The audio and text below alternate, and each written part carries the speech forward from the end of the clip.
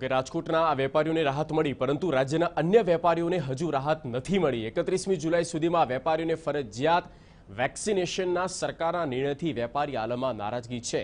આ નિર્ણયથી જીસીસીઆઈમાં પણ અસંતોષ છે. નિર્ણયને પંદર દિવસ સુધી મોકૂફ રાખવા જીસીસીઆઈ દ્વારા સીએમ વિજય રૂપાણીને રજૂઆત કરવામાં આવી.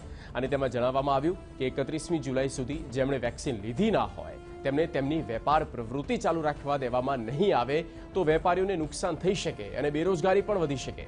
નોંધનીય છે કે રાજ્યભરમાં વેક્સિનેશન કામગીરી મંથર ગતિએ ચાલી રહી છે. એકત્રીસમી જુલાઈ સુધી તમામ વેપારીઓનું રસીકરણ થાય લગભગ અશક્ય છે.